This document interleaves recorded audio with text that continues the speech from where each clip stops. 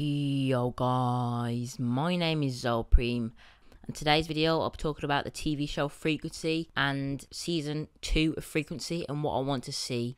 So guys, as you may know, Frequency the TV show is a CW TV show. It was on last year, ending on a cliffhanger and if you don't actually watch Frequency, you know, I do recommend it. It's a very good TV show. Um, one of the most underrated ones on the CW in my opinion.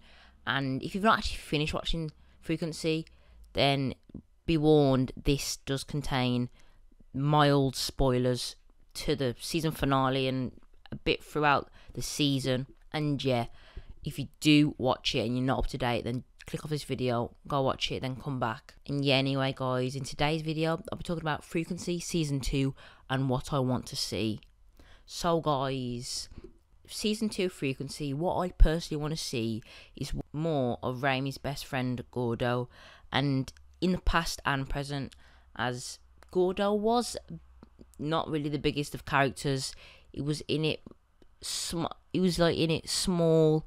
He wasn't really in that much, and when he was in it, he was in it for about max a minute or two, and didn't really make any. He wasn't really significant to the, the storyline and to the end of the season, or literally the last episode, Raimy did actually change something, and that made him, it made Gordo, instead of quitting university, uh, actually go back and or stay on university and keep going, and then become a lawyer. So now, guys, Gordo is indeed a lawyer now.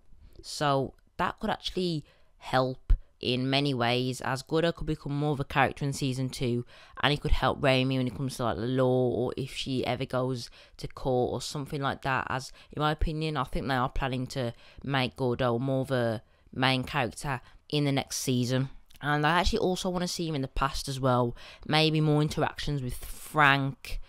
Maybe Ra- Raimy's mother.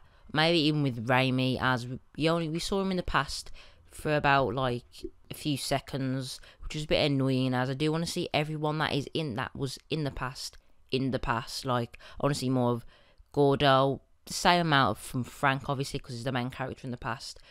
I think they've done right with how much they they show of Raimy in the past, and yeah, I do want to see more of Gordo. As he, in my opinion, he's a he's a good character. I want to see him progress more.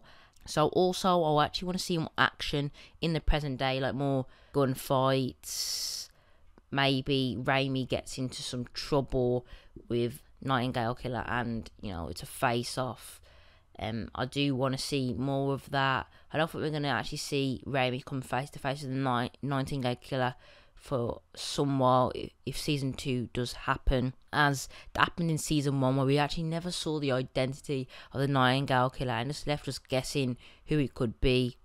Which you know was it was good. You know they did the storyline pretty well, and hopefully it gets renewed for season two. You know, to be honest, it's one of those TV shows where you either have like a you have only a few characters, a few people. Like there's not many characters in a TV show. Kind of lose fat, and it's a good thing. It's not always the bad thing because you don't want to get oversaturated full of characters, and each individual one, you know, has an important part to the TV show, and that's why I think Gordo should more should have more of a part as there's not many characters in frequency and if they add him to like a more of a main role you know it'd be great and yeah if they're gonna add characters add only a few more like one or none at all as you don't want to oversaturate a tv show that's kind of based around a few characters and two mainly. You know, hopefully by the end of season two, Raimy gets Frank back as well as her mother, which is going to be absolutely crazy. Even if they're not together in the present or they are, I still want to see them together because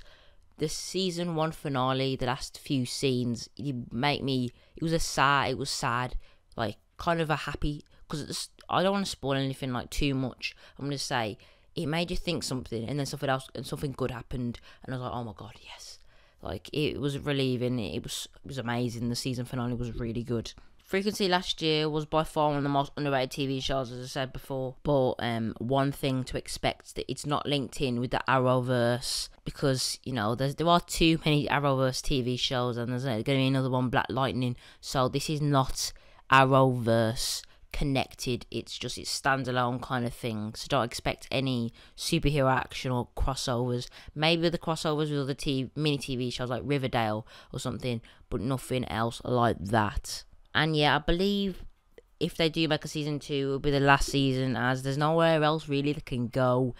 Um, you know, if there was going to be more seasons, then it would be with more a new character and a new roster of characters.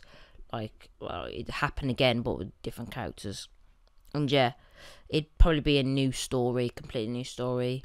And yeah, guys, this is just what I want to see from Frequency Season 2 if it happens. It is a really good TV show.